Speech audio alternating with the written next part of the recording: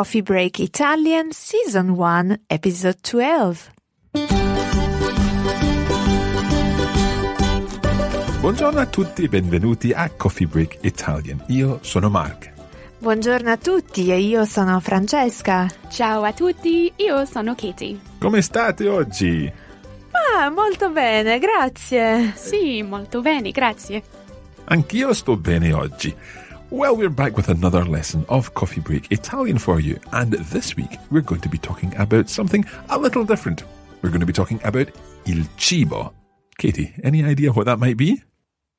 Absolutely no idea, I'm afraid. Well, if I tell you that in un ristorante c'è molto cibo. Mm, food? That- Yes, yeah. in a restaurant there's lots of food. That's right. So we're going to be talking about food today. I think it's about time to begin. Yes, iniziamo. Iniziamo.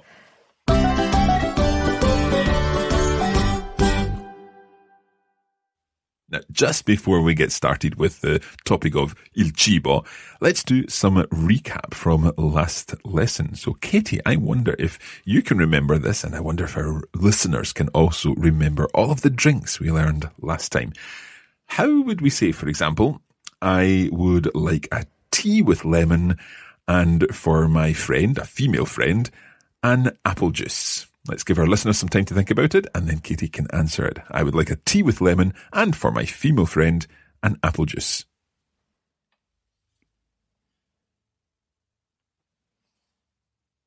Okay, Katie? Could I say vorrei un tè con limone e per la mia amica un succo di mela? Ok, molto bene, Katie. Eh, ma attenzione, just two tiny little things. Amica, Amica, ok, molto bene. E un succo di mela. un succo di mela. Perfetto, perfetto this time. Okay, so I would like a tea with lemon, and for my female friend, an apple juice. Let's try another one of these. What about for my father, a cappuccino? For my mother, a glass of white wine, and for me, and sparkling mineral water. Okay, I'll, I'll say that again and we'll give you some time to think about it. For my father, a cappuccino. For my mother, a glass of white wine. And for me, a sparkling mineral water.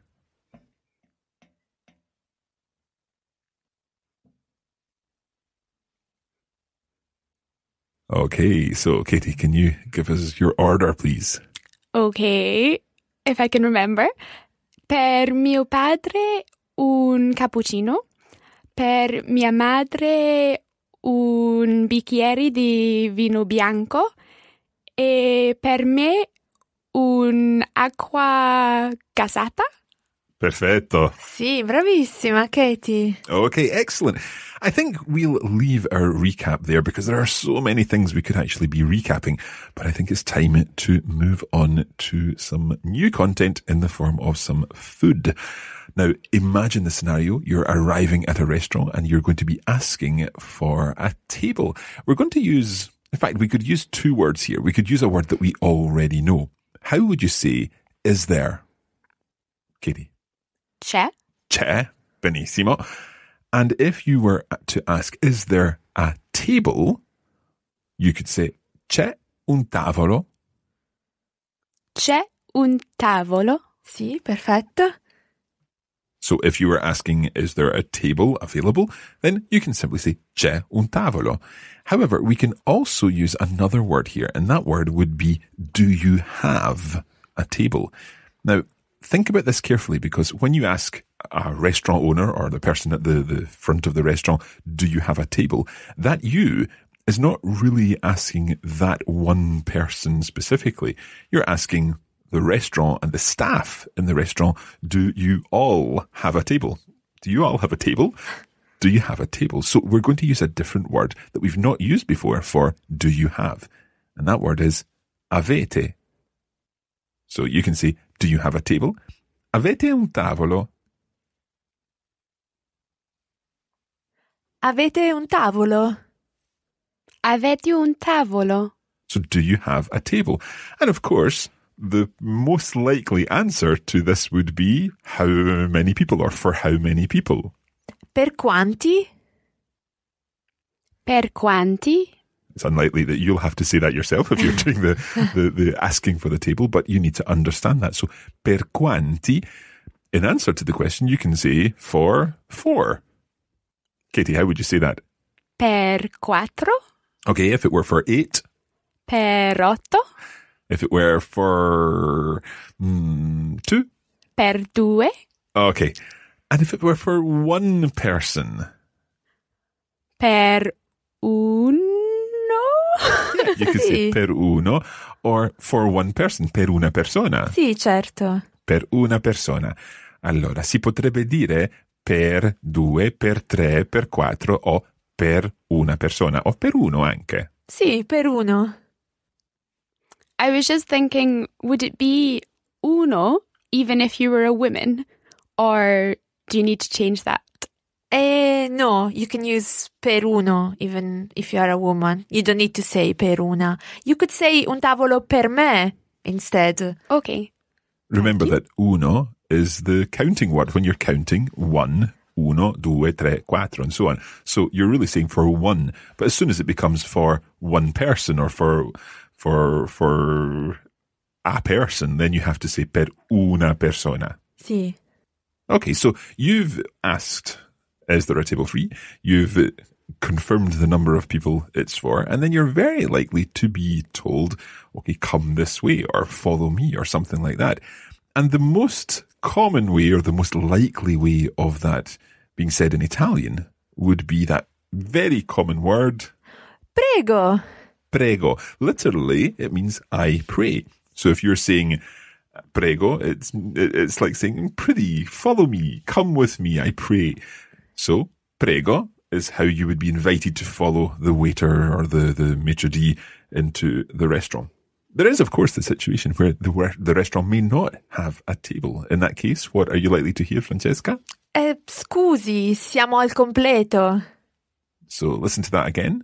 Scusi, siamo al completo. So I'm sorry or excuse us, you know.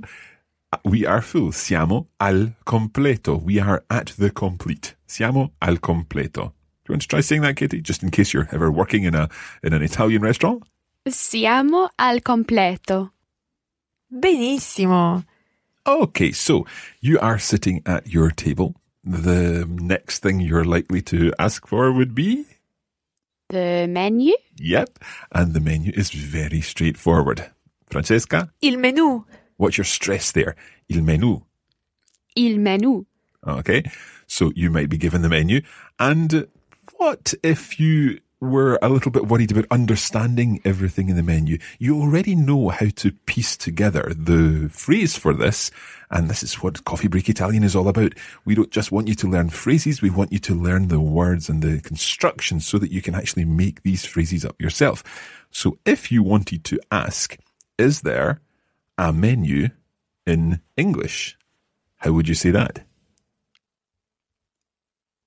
C'è un menu in inglese? Benissimo. Perfetto. That's exactly how you would say it. So, is there a menu in English? C'è un menu in inglese? Sì, perfetto. O avete un menù in inglese. Perfetto. So that's the other option. We can use c'è, is there, or avete, do you have? When you're talking to lots of people, do you have, or when you're talking to the, the organization of the restaurant, as it were, maybe you're just speaking to the one waiter who's uh, attending your table, but equally you're still talking about, do you, as in this restaurant, have a menu in English? You might also want to ask, do you have a menu for children? Maybe some restaurants would have that kind of scenario, in which case you would say, Avete un menù per bambini? Or c'è un menù per bambini? listen to the word for children again. Bambini. So bambini is of course the plural form here. So one male child would be, Bambino. mhm, and a female child would be, Maybe Katie can guess? Mm, una bambina? Sì, perfetto. so then we have children in the, the male and female or just male. Bambini. And if it were lots of little girls, it would be. Bambine. So that's our pattern again. Bambino, masculine singular. Bambina, feminine singular. Bambini, masculine plural, or indeed together masculine and feminine plural. And then if it's feminine plural, it would become bambine. So is that just the same as figli, meaning children in general? Exactly. Just as figli, you also have fratelli for brothers and sisters, zii for aunts and uncles, nonni for grandparents, and so on. Okay, I think it's about time that we learn some words for some of the kind of things that may be on a menu. Let's think perhaps first about uh, lunchtime and if we were having a quick snack or something. So let's learn some of the types of things that we may have to eat. First of all, a very common thing would be a, a bread roll. Un panino. Now, this is a little bit tricky. It's one of the things that we need to think carefully about because the word for a bread roll would be, Un panino. but in English, certainly in UK English, we very often talk about a panini. And of course, that's wrong because panini is plural. We know that panini would be more than one bread roll. Yes. But of course, if we're talking about in Italian, then un panino would be a bread roll. And you could have a bread roll with ham in it. Mm, I love it. Un panino al prosciutto. Un panino al prosciutto. Okay, so watch that prosciutto double a T at the end. Un panino al prosciutto. Un panino al prosciutto. Good. Or you could have a cheese bread roll. Mm, un panino al formaggio. We've got another double consonant sound in there. So try saying a cheese roll. Un panino al formaggio. Perfetto. Okay, so un panino, a, a bread roll of some kind, with a filling. Perhaps any other fillings that you can think of that would be common, Francesca? E personally I love un panino con pomodoro e mozzarella. Ah, un panino con pomodoro e mozzarella. So we probably know what mozzarella is. Mozzarella Un cheese. tipo di formaggio, non è vero? Sì. E anche con pomodoro, which would be Tomato? tomato. So un panino con pomodoro e mozzarella. Sì, perfetto. Un panino con pomodoro e mozzarella. You could also say al pomodoro e mozzarella. So Katie, try saying both those versions. Un panino con pomodoro e mozzarella, Un panino con pomodoro e mozzarella. and the alternative one using al.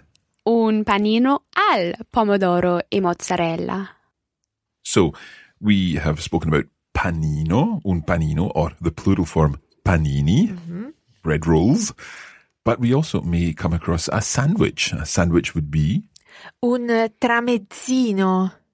Francesca, can you explain what un tramezzino would look like? Uh, it's like a sandwich you would have here. The shape is like a triangular shape. And Okay, so it's made from from sort of normal bread, sliced bread with a filling. Yes, the bread you would use for toasts. Okay, so un tramezzino would be that kind of sandwich, a, a sort of traditional sandwich that we'd get here in the UK or perhaps in the States. Un tramezzino. Un tramezzino. And perhaps another kind of snack that you might have is a salad. Sì, un, eh, un'insalata. Un'insalata. Perfetto. So those are a few simple snacks that you may have uh, when you're ordering something for lunch. But another very common thing that you might be eating in Italy, of course, is una pizza, which of course we know. A pizza. a pizza indeed, una pizza. But let's talk a little bit about the pizza toppings. And this gives us a good opportunity to talk about more vocabulary, more vocabulary for food, and indeed look a little more carefully at the plurals. So let's begin with the kind of basic topics on topics. Your toppings, of course, not your topics. Toppings on a pizza. First of all, we've already learned the word for tomato. Pomodoro. Pomodoro. And also the word for the cheese that would go on a pizza. Mozzarella. mozzarella, Okay, so if you had una pizza con pomodoro e mozzarella, come si chiama questa pizza, Francesca? I think everyone already knows. Una margherita. Una margherita. Una pizza margherita. Sì, sì. So let's try saying that. Una pizza margherita una pizza margherita, con pomodoro e mozzarella. Ma c'è anche, per esempio, prosciutto. Sì.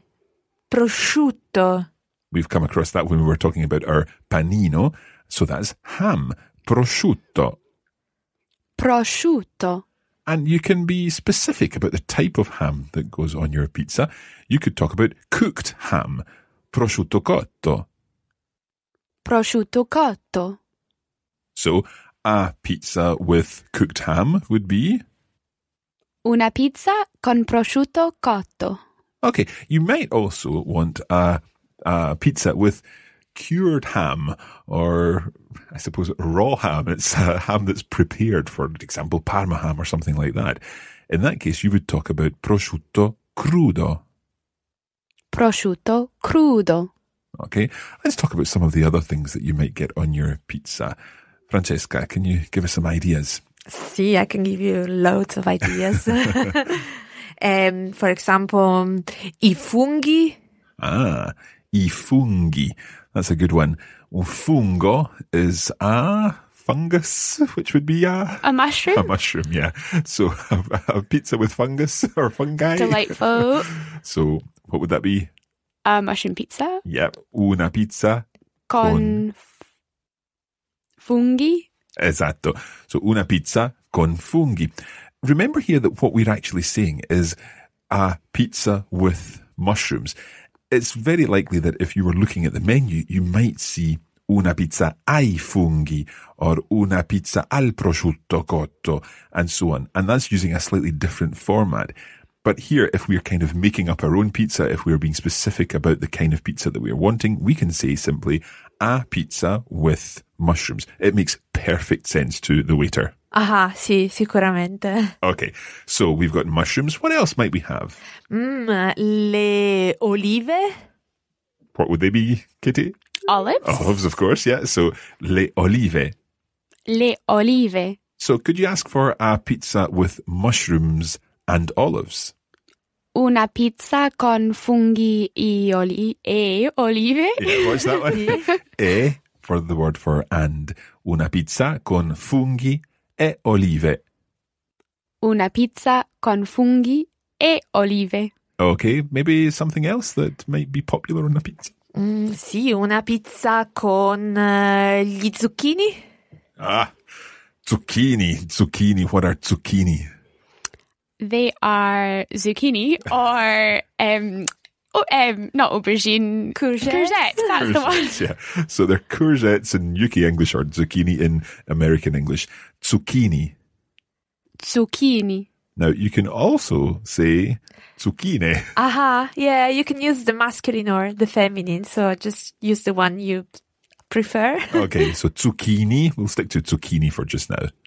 zucchini, Uh-huh. And another word that's different in the UK and in the States would be the word that is melanzana in Italian. Yes. So we would call that in UK English, aubergine, yep, and in American English, Eggplant. eggplant. That's right. So melanzana. melanzana, So, Katie, here is your task. You are going to order a pizza with cured ham, mushrooms, olives, and aubergine. ok.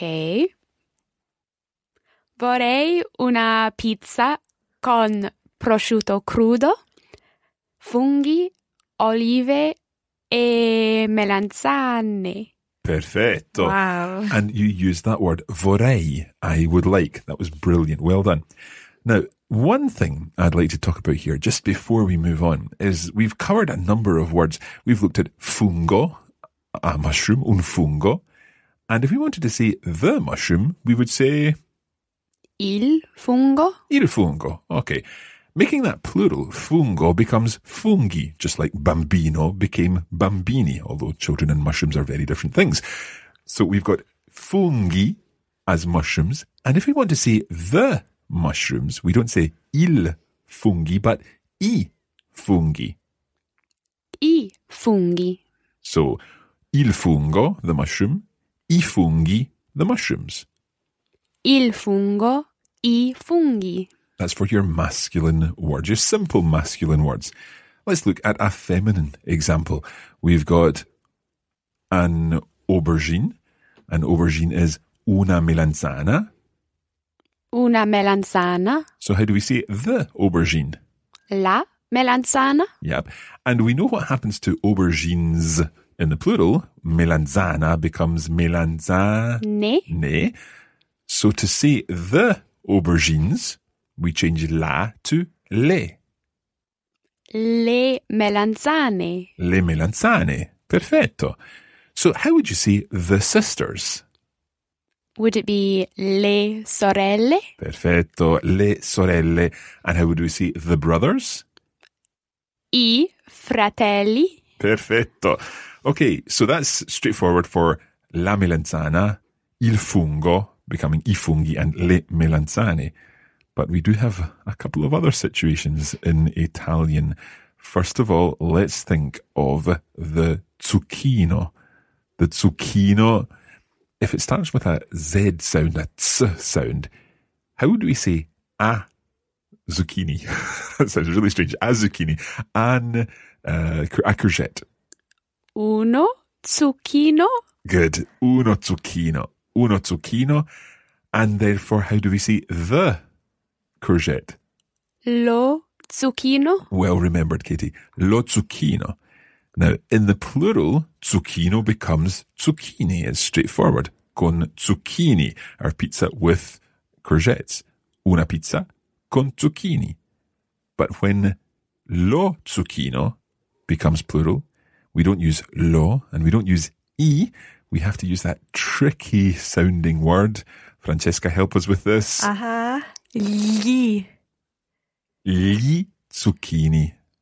Li zucchini. It is very tricky. Li zucchini. Li zucchini. So that's what happens with our lo in the plural. It becomes li zucchini. Li zucchini. Try one more time. Li zucchini. Li zucchini. I always think it helps if you imagine the letter L and then the letter Y and then the vowel that follows, in this case, E. Li. Li li Li. li zucchini. Li zucchini. Okay. And if you don't concentrate too much on that and go straight into the zucchini, nobody bothers. Okay. I think that is where we're going to leave this lesson because it's quite long today. We would like to do a review, but perhaps we'll do a review in our bonus episode. Uh, we also want to cover a very useful phrase for saying that you like olives or mushrooms or zucchini or melanzane and so on, but we'll leave that for next time too.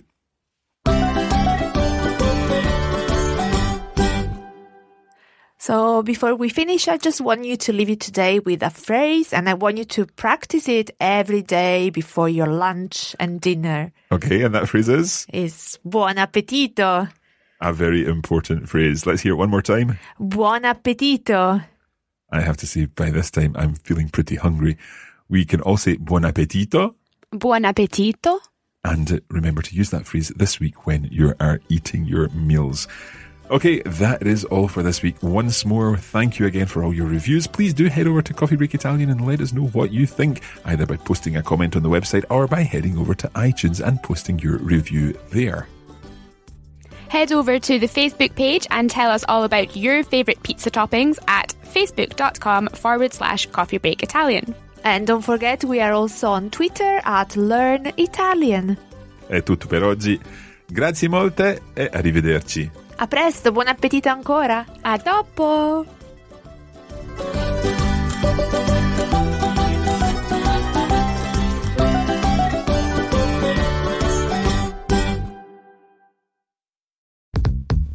This is a production of the Radiolingua Network. Find out more at radiolingua.com.